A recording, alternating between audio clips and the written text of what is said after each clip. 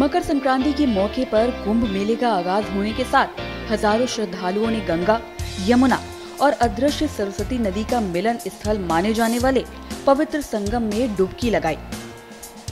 प्रधानमंत्री नरेंद्र मोदी ने भारत के आध्यात्मिक, सांस्कृतिक और सामाजिक विविधताओं का गवाह बनने के लिए भक्तों से आग्रह किया कि वो इस वर्ष भारी संख्या में इसका हिस्सा बने।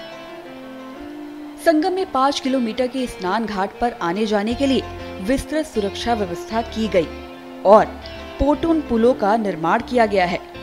कानून और व्यवस्था बनाए रखने के लिए इन पुलों के सभी प्रवेश और निकास द्वारों पर सुरक्षा कर्मियों को तैनात किया गया है। घाटों पर दिवाली की तरह बेहतरीन रोशनी की गई है। कुंभ मेला हर छह साल में आयोजित किया जाता है, जबकि महाकुंभ 12 साल में होता है।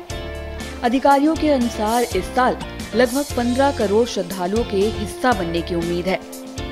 प्रशासन द्वारा ऐतिहासिक शहर और स्नान घाटों को जगमगाने के लिए चालीस हज़ार से अधिक एलईडी लाइटों का इस्तेमाल किया गया है।